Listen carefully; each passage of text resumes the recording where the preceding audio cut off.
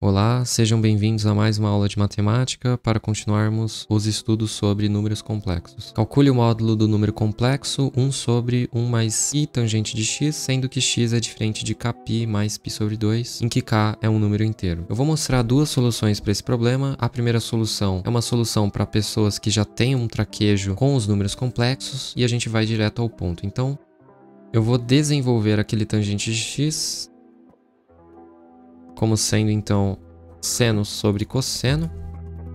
E agora eu consigo extrair o MMC e jogar o cosseno lá para o numerador.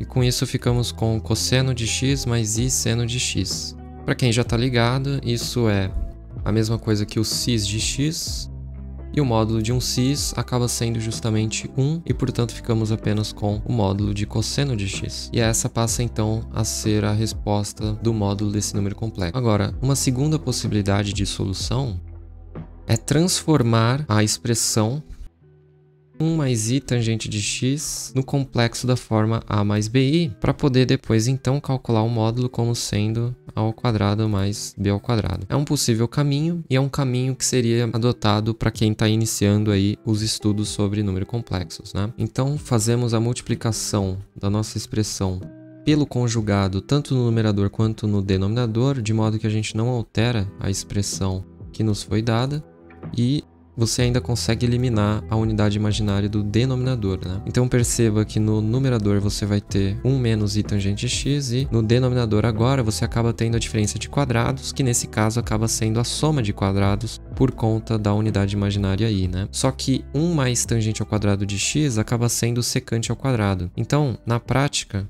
a gente acaba então ficando com 1 menos i tangente de x dividido por secante ao quadrado de x. E agora, para que possamos dividir a parte real da parte imaginária, Fazemos então 1 dividido por secante ao quadrado de x e a parte imaginária acaba sendo dividida também por secante ao quadrado, mas agora você percebe que as partes desse número complexo ficaram separadas, o que facilita muito a distinção das variáveis a e b. Nesse caso, você pode perceber que a variável a acaba sendo 1 sobre secante ao quadrado de x, só que isso é a mesma coisa que cosseno ao quadrado de x, e a variável b acaba sendo menos tangente de x dividido por secante ao quadrado de x, só que isso na prática acaba sendo tangente de x vezes cosseno ao quadrado de x, e isso acaba sendo menos seno de x vezes cosseno de x, né? Certo, e com isso a gente agora pode calcular o tal do módulo como sendo a raiz quadrada de a ao quadrado mais b ao quadrado, né? Então a gente fica com cosseno à quarta de x mais seno ao quadrado de x cosseno ao quadrado de x. Podemos então colocar o cosseno ao quadrado de x em evidência